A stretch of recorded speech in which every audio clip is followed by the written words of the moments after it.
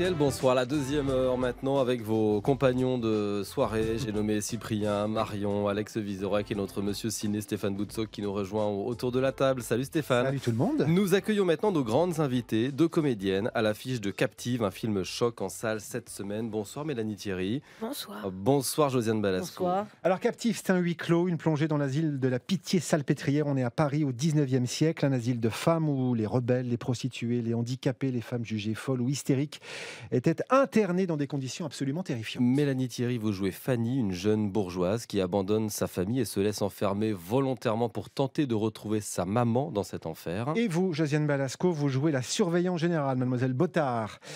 Des surveillantes capables des pires saloperies, moi je dirais même, des méchancetés et des sévices. Au casting également, Carole Bouquet, Yolande Moreau et une terrifiante Marina Foïs. Je vous avoue que dans l'équipe, pour beaucoup, on a découvert assez stupéfait ce, nom, ce sombre épisode de, de l'histoire en regardant le, le- le film. Vous connaissiez l'histoire de, de cet asile qui a aussi fait l'objet d'un livre, d'ailleurs, Le Bal des Folles, il y a quelques années, ou vous l'avez découvert Non, vous j'ai aussi? découvert en, en lisant le scénario.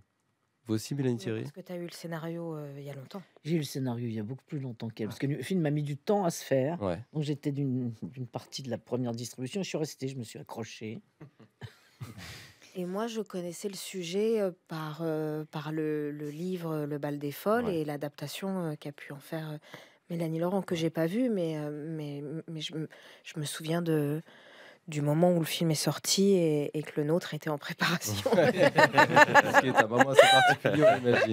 Est-ce que ça dit quelque chose de, de notre pays finalement, le fait que 150 ans après seulement, on soit si peu au courant de la brutalité de, de l'histoire de la médecine, de la brutalité euh, envers les femmes, Josiane Balasco Mais je crois qu'elle continue la brutalité envers les femmes.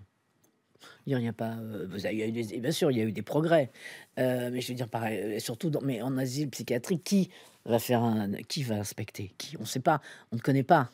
Euh, effectivement, il n'y a plus des internements euh, d'office comme il se passe dans le film, euh, où on voit le personnage Carl Bouquet qui, elle, a été carrément euh, interné d'office par sa famille pour des raisons d'héritage. Donc, il n'y en a plus. Mais je pense que la, la- la- la- la médecine psychiatrique n'est pas une médecine extrêmement euh, pointue. Ils n'ont aucun, aucun moyen. Quand on voit que les mecs se plaignent en permanence, il n'y a aucun moyen. Il n'y a pas si longtemps, on, on faisait des lobotomies dans les années 60, de- de- dans notre époque. Donc, euh, euh, c'est bien de faire une piqûre de rappel en parlant Mm. de ce que c'était au début. Et effectivement, il n'y a plus toutes ces. euh, mais c'était pas pour eux, c'était pas des sévices du tout. hein. Les bains, les bains dans l'eau glacée pendant une journée, c'était pas des sévices, c'était des traitements. Voilà, c'était euh, donc c'était des traitements un peu particuliers. Et mon personnage n'est pas quelqu'un de sadique, c'est quelqu'un qui met en pratique euh, les préceptes de son Mm. maître euh, Charcot. Charcot. Voilà.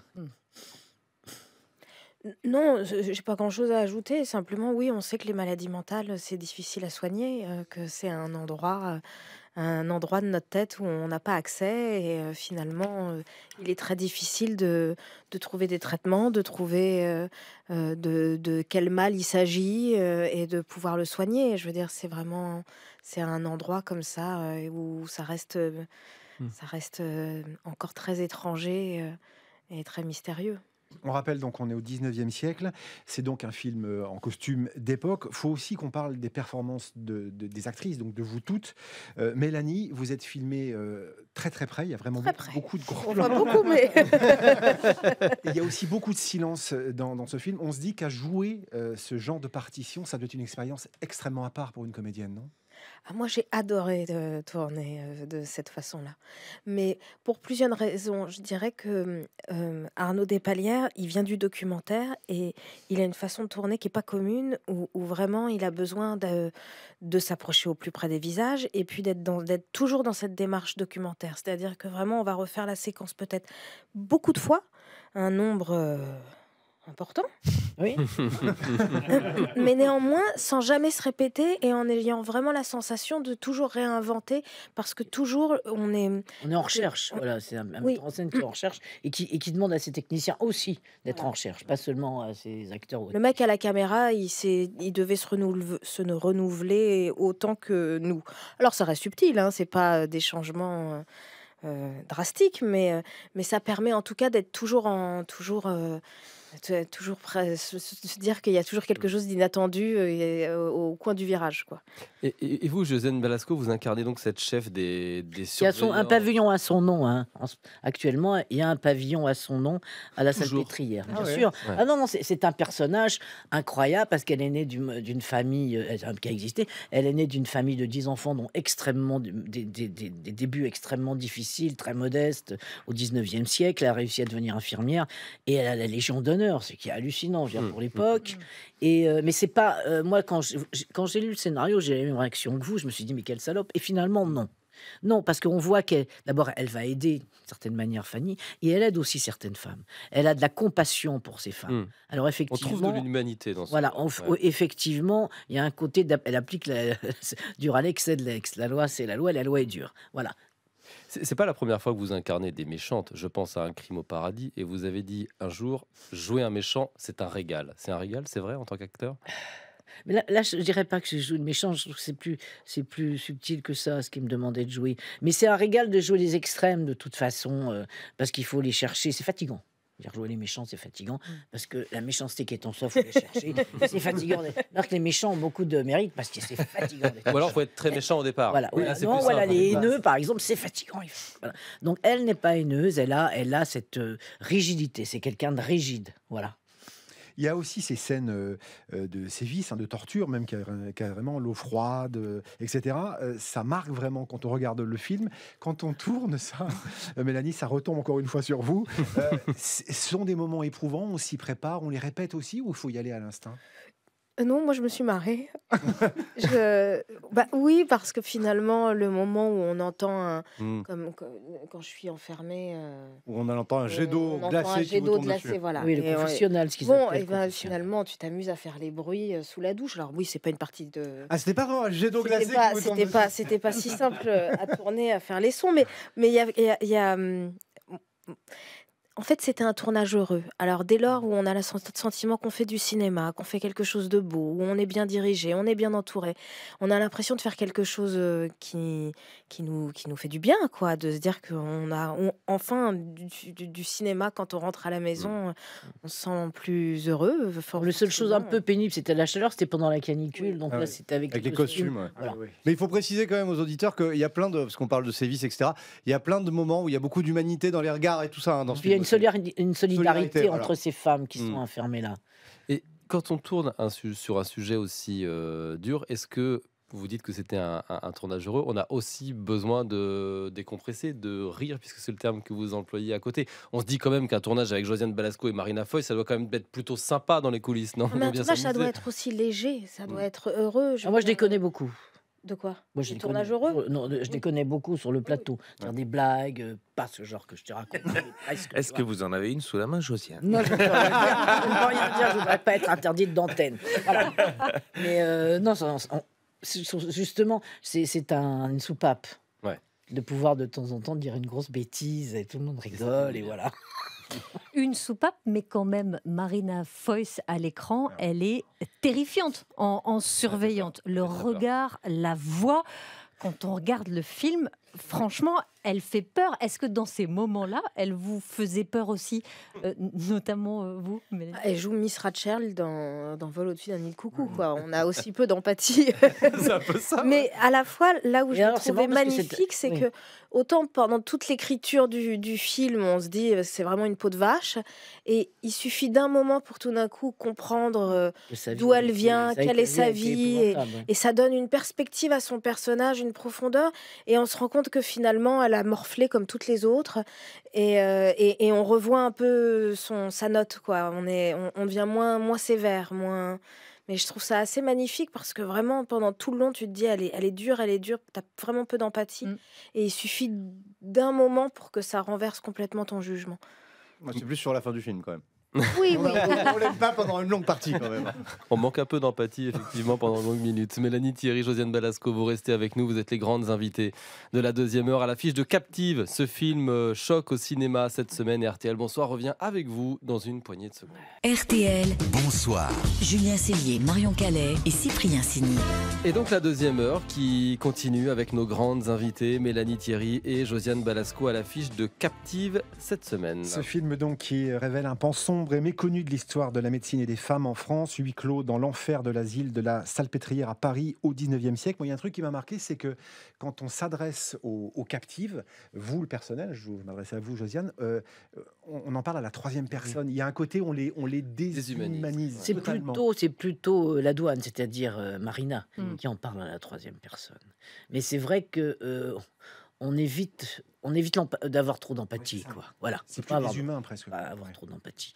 Elle a pas. Et en plus, je pense que mon personnage n'a pas beaucoup d'empathie envers toi, parce qu'elle voit arriver une sorte de. Elle pense que c'est une jeune prostituée, donc euh, ce qu'elle vient faire là, elle a des vrais cas de de, de, de, femmes vraiment démunies mu- phys- physiquement et mentalement, et là, elle voit arriver cette euh, personne et elle n'a pas de sympathie du tout pour elle. Euh, Elle va pas lui faire de cadeaux, ça on le sait. Mais ce qui est formidable, c'est qu'après, elle va changer d'avis. Le réalisateur euh, Arnaud Despalières dit qu'il voulait montrer comment les femmes inventent euh, une réponse collective face euh, à cet enfer. C'est aussi et donc surtout un, un film sur la, la sororité. En ce sens, il, il est très moderne, non, Mélanie Thierry? Oui, et puis ce qui nous a permis aussi d'être très liées les unes aux autres, d'être très attentives et, euh, et de, de, de faire attention, c'est que hum, il, a fait appel à toute, euh, toute, toute la figuration. Il fallait que ce soit des femmes euh, vulnérables, parfois légèrement handicapées, parfois lourdement handicapées. Et on était comme ça, toutes, toutes- on était quand même nombreuses chaque jour. Mhm. Et, il s'agissait pas juste de tourner, tourner quoi qu'il arrive, sans parce que faut bien le dire, parfois la figuration, on n'y prête pas toujours attention. Mm. Euh, on fait ce qu'on a à faire, euh, on fait notre scène avec notre partenaire, euh, on est concentré sur notre texte et sur nos actions. Et puis ce qui se passe autour de nous, bon, chacun, cha- chacun son truc, quoi. Et là, tu peux pas faire sans, en fait, Mm. euh, parce que parce que tu dois leur répondre, parce que tu dois avoir, tu, tu, tu dois les accompagner, parce que et, et ça te permet d'avoir une écoute tout à fait autre. Et ça a été formidable pour tout le tournage, justement, pour trouver cette, euh, cet ensemble comme ça de toutes ces femmes qui se retrouvent euh, en cet endroit. Et Le, le fait que ce soit un casting entièrement féminin, ça changera quelque chose sur le film? Sur le tournage? On s'est pas trop tiré dans les pattes. Moi, j'ai trouvé ça. Je trouve que j'ai- moi, je trouve que les actrices euh, ne font beaucoup moins de caprices que les mecs, si je peux me permettre l'expression. Vous demandez dans le milieu euh, quelles sont les, les personnes euh, les plus capricieuses. euh, à la- à la- combien de Donnez les noms. Combien, non, j'ai les- pas de nom. Combien de centimètres ma, ma caravane a plus que la tienne? Ben, En général, c'est les mecs. Ah ouais. Eh ben voilà. Les centimètres, c'est notre Ouais, c'est- c'est un problème. Mélanie Thierry, le réalisateur, dit de vous ceci. Dès le premier plan, avec le chef opérateur, nous nous sommes regardés comme si nous étions témoins d'un phénomène paranormal. J'appelle ça la cinégénie. Mélanie irradiait dès que la caméra filmait. C'est vrai que vous irradiez dans ce film. Bah, Vous C'est mieux un metteur en scène qui aime nous filmer que pas. hein. C'est un joli compliment quand même. Ou- Oui, mais c'est vrai que je, je préfère qu'il ait envie de, de, de me filmer chaque jour plutôt qu'il déchante dès le premier jour et qu'il se dise euh, merde, on a, on a 30 jours ou 45 jours devant nous. Qu'est-ce qu'on va en faire? Mais en même temps, Captive arrive quelques semaines après euh, Sous d'un seul, où vous étiez déjà dans des conditions extrêmes, alors euh, sur une île avec, euh, avec Gilles Lelouch. En mode survivante. Euh, en survivante. Euh, on remarque quand même que vous vous épargnez assez peu quand même, et, et- et physiquement, et des rôles euh, assez durs. C'est votre plaisir d'actrice d'aller dans, dans cet univers-là? Oh oui, j'aime bien. J'aime bien, j'aime bien me coltiner euh, des, des...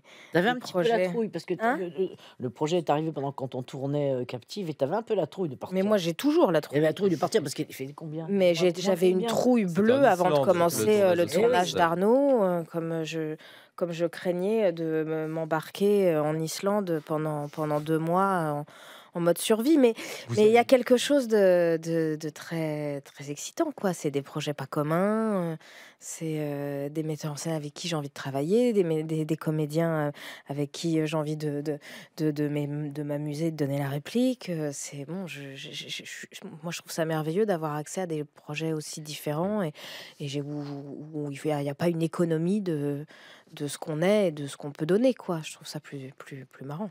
Euh, Josiane Balasco, vous, vous partagez l'avis du réalisateur Elle- Elle l'irradie, euh, Mélanie Thierry? Ben, bien sûr, Mélanie est une petite lampe. Une luciole. une luciole. Non, non, mais, mais c'est important pour ce personnage qui est quand même pas du tout à son âge. Je veux dire, il n'y a pas de maquillage, il n'y a pas de coiffure, y a- on a la, la peau luisante, on a les cheveux sales, on est habillé avec des hardes, euh, que ce personnage ait une lumière intérieure qui fait qu'on oublie ça en la regardant. Avant de vous laisser, j'aimerais qu'on évoque vos autres projets. Vous vous irradiez en ce moment au théâtre, Josiane Balasco, pendant quelques jours encore avec votre pièce Un chalet à Gstaad. Alors là, c'est un autre style. hein. On est vraiment dans la Dans la farce. pure comédie dans le monde des ultra riches. Vous avez d'autres projets d'écriture euh, D'écriture, non, mais je vais, je, là, j'ai fini le, film de, de François Ozon qui s'appelle quand vient l'automne avec euh, cette magnifique Hélène Vincent. Je joue la, la, la vieille copine d'Hélène Vincent. Et euh, elle est une femme absolument incroyable, extraordinaire, 80 ans, extraordinaire, vraiment. Et puis, je vais, sans, je vais tourner cet été dans le film de Pascal Elbé avec, euh, avec euh, Paul Vord. Voilà. Oh là là, ça va être sympa, ça, ce tournage. Ça veut dire quoi, ce là Bon, J'ai un souvenir ému de la dernière fois où il est venu dans ce studio. Ah bah oui, non, mais évidemment, mais il, est fant- il y a de la fantaisie. Ah ouais. Voilà. Et reprendre la caméra? Euh, J'ai pas envie, c'est trop lourd. C'est vrai, c'est vrai. Je me dis, c'est très long de faire un film. En ce moment, dire quand un film ça se passe bien, c'est deux ans de ta vie. Au bout d'un moment, quand même, l'échéance se, réduit et tu te dis, je peux faire trois films dans le temps où je réaliserai un. Ouais. Donc euh, voilà, c'est- le calcul est fait pour l'instant. Voilà. Et vous, euh, Mélanie, on voit, euh, on vous a vu à la Fashion Week et on le voit là en studio. Il y a un très joli projet très personnel que vous Oui, portez, oui. qui va, qui- qui Moi, va je vous ai pas arriver. posé Il arrivera au printemps, n'est-ce pas? Il y a, Et, il y a euh, des choses à venir après Et déjà ou vous oui, allez prendre non, du temps j'ai un, bah, je- non, j'ai un film euh, qui est en, mon- en montage là, donc il, va, il il est encore au chaud, mais, euh, mais euh, qui s'appelle La Chambre de Mariana, où je retrouve le metteur en scène avec qui j'avais fait La Douleur, Emmanuel Finkiel. Et, euh, c'est, je crois que ça va être un beau film. Et après, repos. Oui, à moins que, à moins que je trouve des choses qui m'amusent encore et qui me... Un projet un peu extrême après Voilà. l'Islande. Le très chaud, quoi, dans le sud, dans le Sahara.